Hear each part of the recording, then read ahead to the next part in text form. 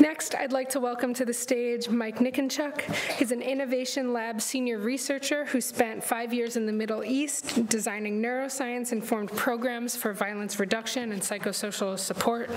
He works at Beyond Conflict, where Mike leads several initiatives in the US, Germany, Jordan, Lebanon, and it's focused on two major themes, the link between neuroscience and participation in group violence, gangs, extremist groups, and other types of organized group violence, and the mind-body effects of conflict and violence on youth and adults. Mike has degrees from Tufts University and University College in London. Please welcome to the stage Mike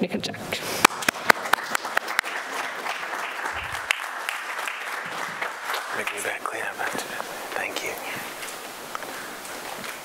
So that's the second time I have to bat cleanup after Jesse, and it's never easy. It's a tough act to follow. Just want to do a quick audience poll before I start. In the room, how many of you would say you have a brain? right?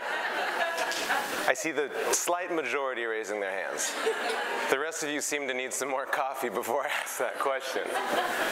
So the advantage of all of you, or most of you saying yes, is that that means that pretty much all of you are potential extremists, which makes this talk pretty easy because everything I'm going to say applies to you just as much as it applies to Jesse, just as much as it applies to a young person sitting in Nigeria and Cameroon and Burkina Faso, the Philippines, whatever region of the world that your work is focused on.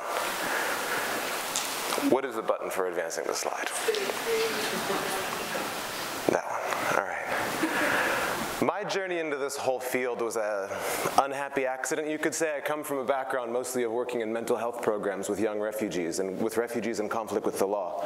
I worked for four years in uh, Zaatari al for a Zaatari refugee camp in the border of Jordan and Syria. And it was not a place where there was a lot of extremists, and I'm not trying to suggest that, but it is a place where there's a lot of pain. And it is a place where a certain number of individuals were either previously involved in extremist groups or were contemplating that decision of taking that bold step. Not because it was something that they ideologically aspired to, but because it was at least something that felt like a sacrifice for a home and for a place that they were losing. And I remember one young man, one of my closest friends now, his name is Muhammad, he said to me at the time, Mike, I think that heroes and terrorists seem to be formed in the same context. And sometimes it's really hard to know which one you're choosing. He said this about a week after his cousin had joined ISIS. His cousin had talked to me for a long time about not that decision per se, but about the decision of going back home. And he said very frankly, no one can try to convince me that sitting in a camp here is any sort of sacrifice for my family. I can't go back to my home in 10 years and have people ask me, what did you do? What did you do while your people were dying? Were you sitting and taking aid from foreigners? He couldn't deal with that perspective shame that was eating away at his sense of self, at his sense of pride. And so he made a decision that affected the rest of his life, that affected countless other people's lives, a decision towards violence. When in reality, that same psychological ecosystem, that same psychological ecosystem of grievance, of trauma, of pain, of wounds, of social brokenness, could have facilitated his rise to be a great leader in his community. So that same ecosystem that pushed one cousin in a certain direction pushed his other cousin to now be graduating with a university degree after working his butt off to make everything he could out of himself in a legal system that tries to keep him stateless and down. The same context led to both of those individuals. So what is the psychological scaffolding that we're talking about that facilitates someone's growth in one direction or the other? In studying neuroscience, we're in a pretty pivotal time. We're in a place in technological history and advancement when we have unprecedented ways of getting access and insight into some of the unconscious or subconscious facets of human cognition, of helping people and helping ourselves get a better picture of why do we do the things that we do? The truth is we really don't know. Anywhere from 95 to 98% of the activity of your brain is unconscious. Not that you don't see the results of it or you can't access it, but that it's really happening below a level of your conscious awareness. And the me that I know, the you that you know when you look in the mirror, mostly exists in the realm of 2 to 5% of your brain's conscious and logical and rational activity. So we have many new methods and metrics for understanding what goes on in the human brain to promote decisions towards violence, towards affiliation, towards peace, including hooking people up to funny EEG machines. Imagine walking around wearing a helmet like that all day. Walk around Boston long enough and you'll see a few. The middle one up there is a Fitbit. Lots of you have that on to make sure you get your 10,000 steps in for today, I'm sure. What you can also do with a Fitbit is track someone's heart rate over time. And we know that people who have post-traumatic stress symptoms often have a difference in how their heartbeat functions when they get excitatory stimuli. So when you excite someone who has PTSD, their heart rate will often stay flat. Instead of like a non-PTSD individual, you see great fluctuations, what we call heart rate variability. So you can monitor trauma symptomology over time in a large swath of the population simply by giving a $100 Fitbit. You also can hook someone up to a GSR machine, a galvanic skin response machine. And they did a fascinating study in the Netherlands where they took, frankly, a bunch of old racist Dutch people who were mostly white, and they gave them those funny augmented reality or virtual reality goggles, the big headset, which they weren't used to, and they had their fingers hooked up to this GSR machine. The GSR machine measures the opening of sweat glands in your pores. And they had them interact in this VR chamber with Muslim-looking youth. And you can see when they interact with white youth versus Muslim-looking youth, their pores open up much faster. So you can even track what we call racism, or racist responses to the level of physiology in the skin. And lastly, on the bottom here is, uh, looks like a guy getting a haircut, but this is my specialty in social neuroendocrinology, which is how we understand how hormones affect social behavior. And you can get a map of the stress hormones in someone's life through their hair, through 25 milligrams of hair. Each centimeter marks about one month concentration of stress hormone levels in the blood. So there's unprecedented ways to gain access to how people think. And at Beyond Conflict, we have a pretty simple mission. It's to generate and utilize these types of insights from social neuroscience and psychology to better understand the building blocks of cooperation on one hand and conflict on the other. And funny enough, those are the same building blocks, which makes our jobs a little bit easier. We do that by three primary strategies. One, through conducting research, right? Through designing studies, through working with partners who have these advanced technologies to do studies in dynamic field settings. The second is through what we call science-informed design, which is basically us taking these insights that we're generating or that other people have generated in the field and investing those within initiatives and organizations who are designing field programs. So as Jesse was saying, how do you design a program that takes these issues of trauma and pain and tweaks the design of what you do? How does it help you ask better questions from the populations that you're claiming to serve? And then actually serve the needs that they have psychologically as opposed to just resting on assumptions. And the last thing that we do is knowledge and education. We do talks. We have curricula. We have different training programs for people that are working in the P and CVE fields. A very simple way to put it is like this. We do science-informed conflict resolution programming by working with various partners, and we try to push the scientific community and the research agendas in the direction of being more conflict-informed. Because science, frankly, should be a right. It should be a right for people who don't have access to it yet can tremendously benefit from it. And the way that academia is structured, it doesn't really incentivize doing science in favor of conflict-affected populations. So we're trying to push that agenda a little bit. The four main themes we work in in the lab are as follows. We study these building blocks, as I called them before, four building blocks of either cooperation or conflict. The first is social trust. That's trust in individuals. It's also trust in institutions. And we've observed how the breakdown of trust between people and between people and institutions can facilitate conflict. The second is empathy and dehumanization, words that are thrown around a lot, but that have very, very little definitional meaning attached to them in common parlance. The third, and Jesse talked about this, is trauma and victimhood. How does that, you know, correlate to or facilitate or even in some cases serve as a buffer against violent behavior? And the last is belonging and identity. Now, all of these themes are just as relevant for 2018 United States of America as they are for violent, uh, studying violent extremism. So these are building blocks of cooperation and conflict trends contextually that we've distilled over doing conflict resolution work for 25 years. All these four themes come back to one fundamental issue, and that's how the human brain works. Right? Your brain has one job. And it's not thinking, it's not doing math problems, it's not helping you understand yourself. Sure, it does all of those things. But its one job is to keep you alive. to help you navigate this world successfully so that you have enough resources to stay alive and to stay alive better than everybody else. Because it's a competition sometimes, right? In order to stay alive, it means many things. It's not just having enough food and water, it also means social belonging. It also means having the ability to detect threats that you sense around you. It means mate selection. It means social status and hierarchy. It means a lot of different things in modern society. And at the end of the day, every prediction that your brain is making about what's happening next is in service of that one goal of staying alive. And sometimes we don't have enough information, especially young people in the critical periods of brain development development don't have enough information about what will keep me alive in this moment. So the easiest thing to do is to make the worst case scenario prediction. If you err on the side of caution, if you make a mistake in guessing what will keep you alive, guess what happens? You're dead. Right? So you always err on the side of caution from a cognitive perspective. That's a laser pointer, sorry, Jesse. when your brain doesn't have enough information, it fills in gaps. Y'all see a bunch of faces in there? Those are just bell peppers. We see stuff that's not there all the time because we have so many heuristics and biases that have been built up in us from the time that we're born. You see two holes on top and a hole on the bottom, it's a face. Nope, it's a bell pepper. And next thing you know, someone's selling a grilled cheese with the Virgin Mary in it for $10,000 on eBay. Right? We make things up all the time because our brain is constantly predicting what's coming next for us. And it's always done in service of what's the best way for me to understand this situation? What's going to keep me the most safe?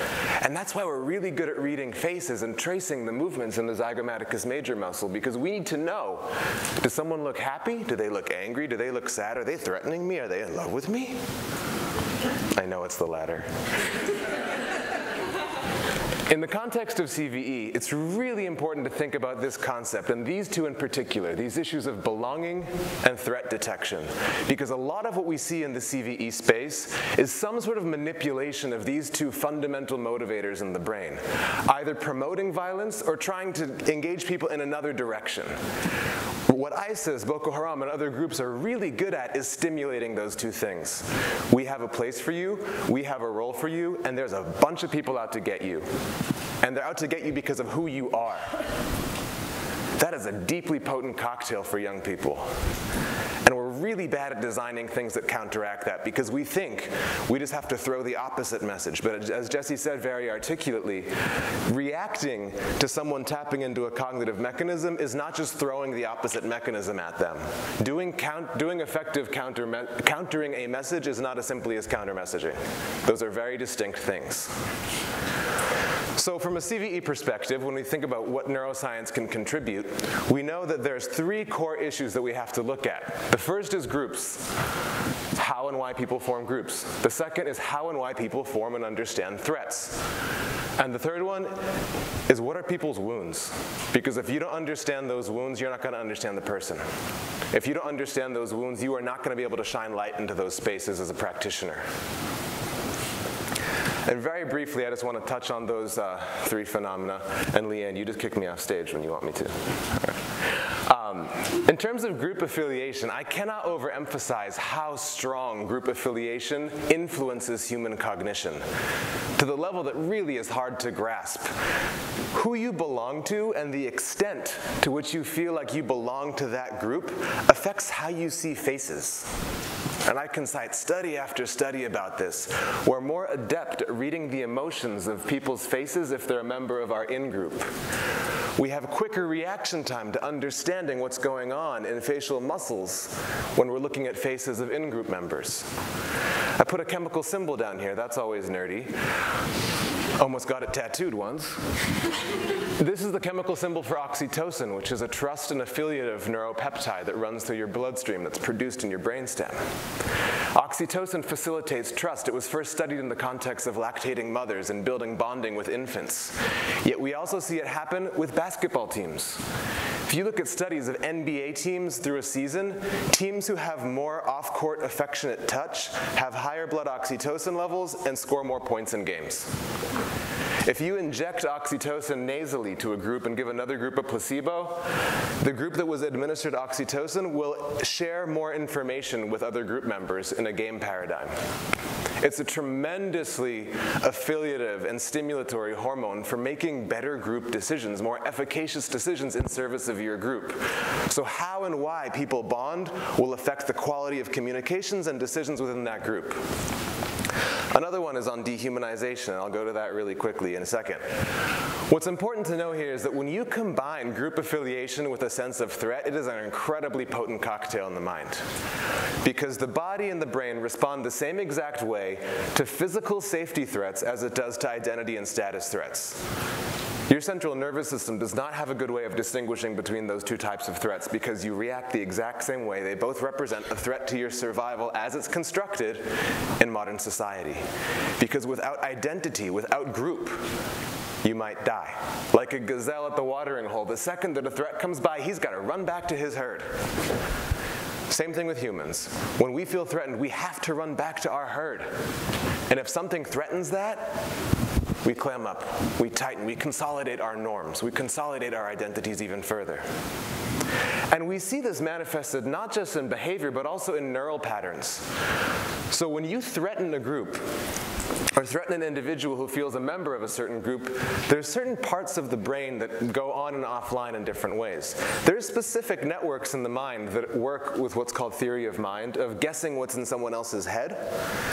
So theory of mind was first understood in the context of research of individuals on the autism spectrum because there was some sense that there's a lack of, uh, they don't know how to ascribe intentions or understand emotional inferences in others' behaviors. And then that same paradigm that was first applied to autism spectrum was then looked at in intergroup paradigms.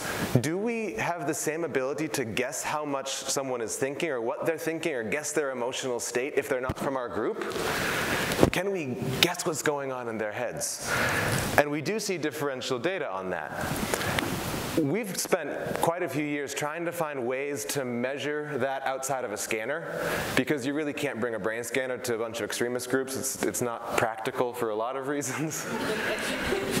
so through rinsing and trying many different psychometric tools, we found that the tool that most specifically correlates with neural activity on empathy and dehumanization is simply by giving someone this ascent of man scale. Say, hey, uh, based on this scale, rate along this scale how evolved do you think the following groups are? And truly, people will give you different answers. You think that everyone would say that everybody's really human, almost no one says that. And the data that people have on this lines up almost exactly with what we see in empathy and theory of mind networks in the prefrontal cortex in a brain scan. And interestingly, the two groups who we found dehumanize each other the most on this scale in the past five years are two groups, and it'll surprise you. Answer number one, Israelis and Palestinians in 2014 during the height of the Gaza conflict, and Republicans and Democrats in the US last year. So we know that dehumanization, as it is manifested in different brain networks, correlates with a couple of really interesting things. It's correlated with unique neural patterns and reactions. It's correlated with a willingness to see passive harm come to those groups whom you dehumanize. It's correlated with policy support. When we looked at Americans' dehumanizations of Muslim refugees, both the brain scan data and the self-report data along this scale correlated with their willingness to, for example, support uh, Islamophobic policies, to support support caps on numbers of refugees coming into the United States, et cetera, at a one, three, and six month longitudinal period. And we also know that in the brain, networks that are responsible for dislike or antipathy are unique from markers of dehumanization. So, relatively in conclusion, um, doing multiple studies in field settings and in lab settings, we're developing an emerging understanding of how this combination of group identification and pain, et cetera, leads to a very, very, very dire state as far as intergroup conflict. We know that strong identification with a group if you make that group perceive a threat in another group, so you invoke a threat, this group is in some way an existential threat to you and your group's identity, and you throw a little bit of dehumanization in there, you see a lot of other behavioral variables come out. And this is across multiple studies over many years. With those three things in place, with strong group identification, the perception of a threat, and the dehumanization of outgroups, you see intense consolidation of group norms. That means that someone is willing to abdicate their traditional ethical stance in favor of consolidated and more conservative norms for the group because belonging matters more than your values in times of threat. Retaliative policy support, restriction of civil liberties on outgroups, increased conservatism, increased in-group love, in-group information sharing, and willingness to sacrifice for your in-group. So I do hope I've convinced you that belonging matters. And how we do this now, and just one example of how we're carrying this forward in the CVE space, is that right now we have, through our science-informed design process, we're doing several different initiatives to try to bring a little bit of the science into how we do PVE program design. So we have three main areas of focus in the lab when it comes to CVE. The first is designing more evidence-based stratcoms interventions targeting specific cognitive mechanisms. If group A is tapping into a sense of isolation, what do we do? How do we design a message that might or might not facilitate belonging or tap into whatever wound is driving that sense of isolation? We also have a program on trying to understand potent groups. Why are some groups so sticky? What are they providing for? What fundamental human motives are they catering to and what needs are they fulfilling? And how do we design youth empowerment programs that actually meet those same needs? So basically asking the question, what are they doing right that makes them so sticky? And how do we design using those same design principles and cognitive building blocks? And the last is exploring relationships between things like chronic stress, early childhood trauma, and propensities towards violence. And we're doing this in um, Burkina Faso at the moment. Um, just some of the basic research questions that we're asking. One is, how do youth's perception of their own agency and social status affect how they respond to VEO narratives? The second part of that question is, how do young people's experiences of belonging and agency affect their views towards those groups and their willingness to sacrifice for those groups? Because those are motivations and impulses that you can tap into and redirect for really beautiful outcomes if you can do it right. And in another example, potentially in the Philippines, we're looking at what would make someone switch from a violent group to a nonviolent one? What are the elements of group membership that would need to stay the same across both of those group types? And what are the, the evolutionary or psychological needs that those groups are speaking to? And how do we maintain those things in our design of our programs? So that's just a bit of an example of how we're doing what we do. And uh, yeah, look forward to hearing from you. Thanks.